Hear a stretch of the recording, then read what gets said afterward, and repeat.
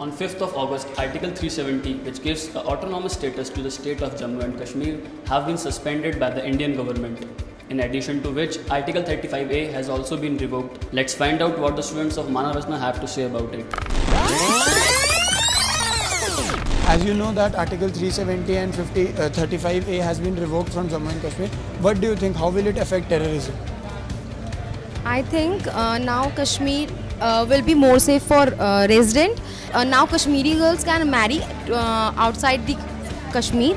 uh, like uh, there is no uh, development there so probably waiting for uh, some time and after that i would probably have a place there and buy a land because it's a beautiful place and everybody should uh, think about it to buy a uh, land there as you know Jammu and Kashmir में जो अभी ये decision लिया गया है वहाँ के जो सिटीजन्स हैं उन पे क्या इम्पैक्ट पड़ेगा मैम, पहले तो टूरिज़्म पे बहुत बड़ा इफ़ेक्ट पड़ेगा। वहाँ पे जो लोग डरते थे, जो लोग जाने से वहाँ पे घबराते थे, वहाँ पे उनको अब जाने का पूरा राइट होगा, वो पूरे निर्णय होके जा सकते हैं। दूसरी इकोनॉमी में बहुत अच्छा इफ़ेक्ट आएगा, क्योंकि वहाँ पे जैसे ही बहुत सारी इंडस्ट्रीज़ वहाँ पे जाएँगी तो वहाँ पे एम्प्लॉयमेंट बढ़ेगी वहाँ के लोगों को हेल्प होगी। उन पर ये इम्पैक्ट पड़ सकता है कि पहले उनका एक अपना एक अलग कम्युनिटी थी बट अब ऐसा नहीं है अब ये एक यूनियन टेरेटरीज बन गई है। तो अब यहाँ पे कोई भी लोग यहाँ पे कोई भी आके रह सकता है।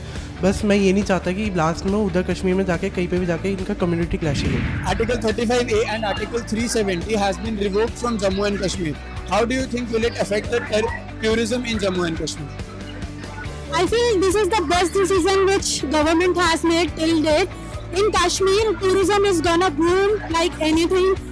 Local people would get lot of opportunities to prosper their business. Moreover, throughout the India, from all the states, all the business people, all the people who feel that yes, tourism can be uh, promoted, they would definitely approach Kashmir. And as everybody knows that Kashmir is the paradise on earth, then definitely it would be more safer for all the tourists from the foreign countries as well as for other parts of India. basically what my reaction towards it that what from what what i have seen is that people are still confused that whether it is actually scrapped or or it is redundant because people are just uh, saying that things that it has been scrapped and people are uh, praising the modi government and they are saying they are saying that modi government has actually done the work for the government for the people of the government so i don't know whether it is actually scrapped or it's redundant i think that it's still it it is not actually implemented yet